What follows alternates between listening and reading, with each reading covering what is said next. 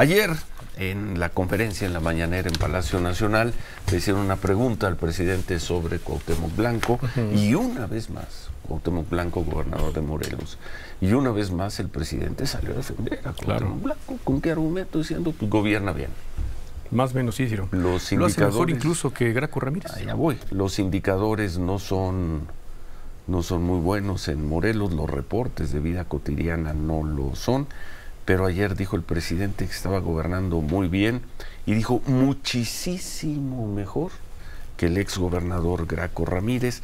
Después de eso eh, crucé información, cruzamos información con Graco Ramírez y le dijimos, Graco, a ver, ven, querías expresar un punto de vista sobre eso, pues bienvenido y gracias por estar aquí, Graco Ramírez. ¿Cómo estás? Buenos días, Ciro y Chao, bienvenido. Mario, qué gusto. Y qué bonitos estudios, ¿eh? Muy bonitos. Y pues mira, yo creo que no es la primera vez que el presidente eh, se refiere a Cuauhtémoc Blanco.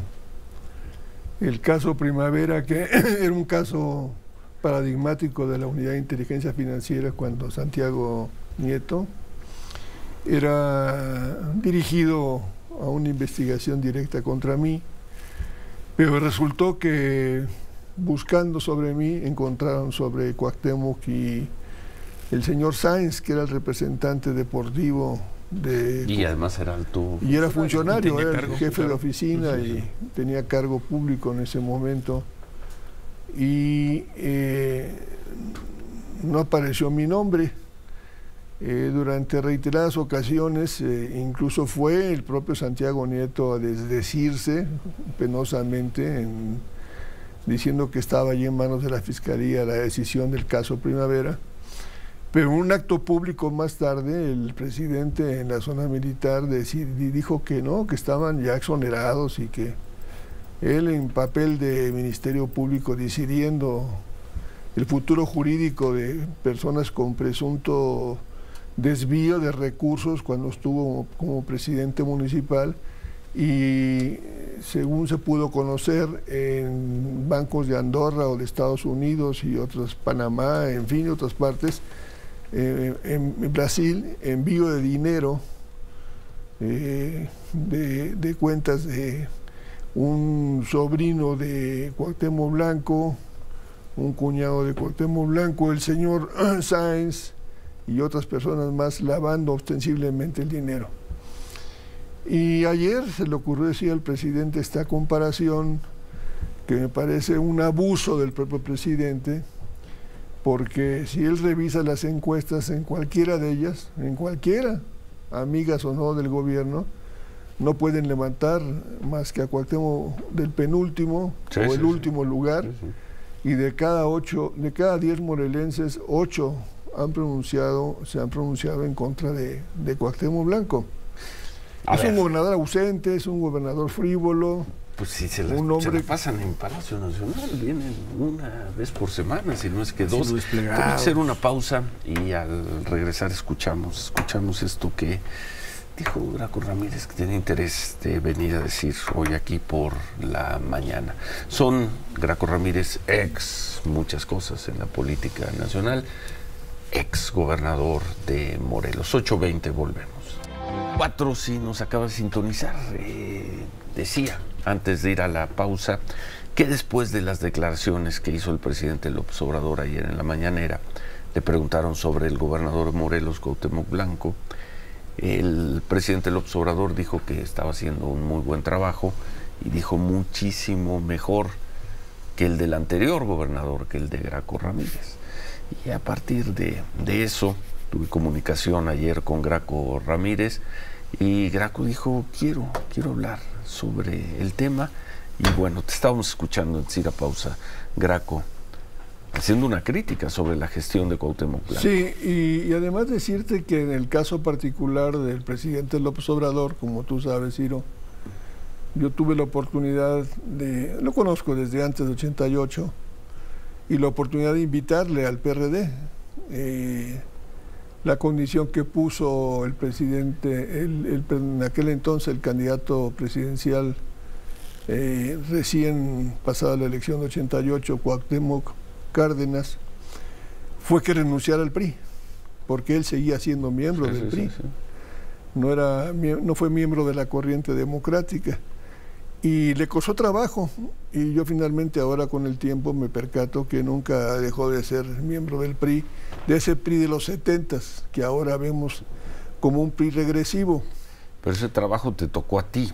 A mí, yo como... Desde el Frente Democrático Nacional. Desde el PRD, desde que fundamos el PRD en 89, y antes en el Frente Democrático, sí, pero sobre todo en el PRD.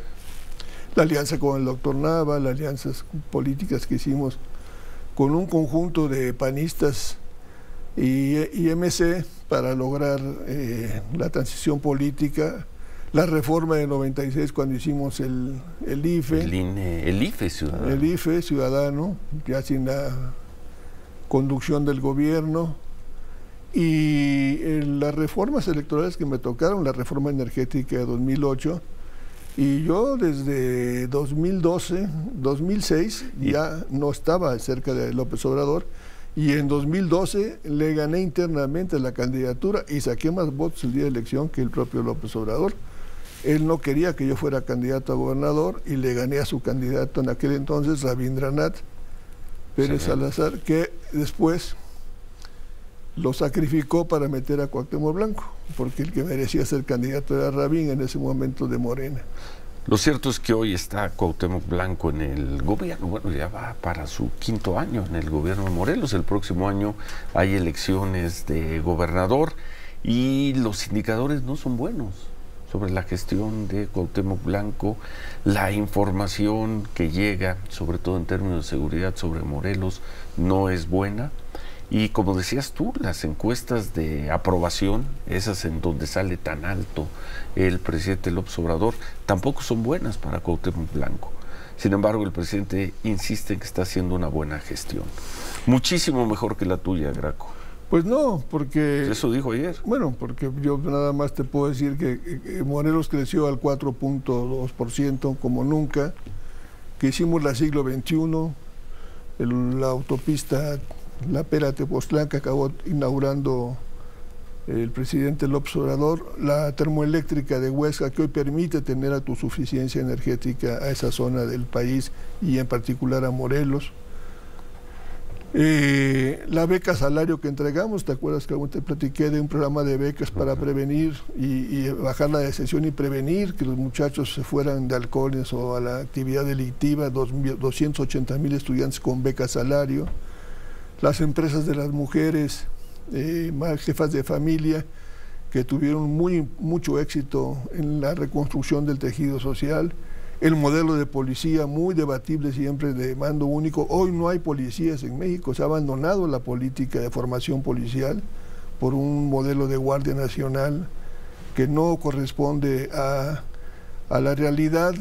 Y hoy que vemos un México más violento, un Morelos más violento, tenemos territorios completos donde ya la delincuencia decide eh, a quién le pagas, cómo les pagas, este, quién vive y quién no vive. Es decir, estamos ante una situación terrible. No sé cómo López Obrador puede decir que si Cuauhtémoc es un mejor gobernador, yo diría que Andrés Manuel ha sido el peor presidente que hemos tenido en la, época de la transición política en México, que, que, además él es presidente gracias a los esfuerzos que hicimos desde el PRD, el PAN y el PRI, en los acuerdos políticos que fuimos construyendo, Ciro para poder Pero ustedes son parte de la mafia del poder, tú eres parte de la mafia del poder. Pues eso dice todos los días. Bueno, él lo usa como una figura retórica para poder encubrir hoy su tragedia, porque hoy no ha tocado a ninguno de los que ella acusaba de la mafia del poder. A ninguno los ha tocado.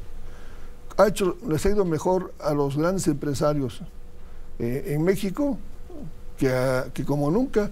Lo que a él le gusta es decidir, lo que a él le gusta a es que cuando él se acuerden las cosas. Y maneja la economía como si fuera la tienda en la que aprendió, si aprendió algo de economía con su papá cuando te ayudaba a la tienda en su padre allá en Nacajuca. No, son malos los números de la economía, ¿eh? No. No, ni, estamos cerca de un desastre. No, tampoco estoy hablando de eso. estoy hablando de cómo, has, sí, en finanzas públicas sí tenemos un problema muy grave porque esa falta de mantenimiento en muchos eh, inmuebles públicos esas tragedias del elevador o estas Sí, tragedias sí, que están, la falta de medicamentos, todo esto que hemos observado se debe a una obsesión de hacer las obras y meter todos los recursos a las obras que él quiere hacer eh, a como dé lugar, sin medir consecuencias, con esa frase tan autoritaria de que me canso ganso, pues ¿cómo que me canso ganso? Pues un presidente no puede mostrar un capricho, una decisión, una voluntad, si no concentra, se concentra en el acuerdo político, si no logra construir eh, el ámbito necesario para que las cosas prosperen. Pues yo también tuve la experiencia, no a nivel del federal, pero sí en local, de tratar de construir las políticas públicas en consensos y en acuerdos políticos. Y por cierto, escribo, ya terminé mi libro, ya lo entregué a la editorial. Un libro sobre Todo lo que la izquierda, yo he estado en la izquierda siempre, en Ciro, te conocí desde ahí, muy joven. Nos ayudaste mucho en aquella lucha contra Carrillo Lea, cuando eras eh, contra los Reportero. La, la inseguridad y la los inseguridad, secuestros, los secuestros. y que surgieron las primeras marchas ciudadanas. Era Ay. 1995, 96, Sí, por ahí. así, así es. Ser 30 años. Bueno, y es entonces sobre qué el libro. Sobre todo lo que aportamos y que ahora Andrés Manuel quiere llevarnos para atrás, quiere destruir lo que le permitió incluso a él ser presidente de la República. Él no se queja del INE cuando gana, cuando pierde se queja de todo. No tiene la convicción de, de un demócrata, que es saber ganar y saber perder. Es lo que tiene que tener una un demócrata en este país. Oye, y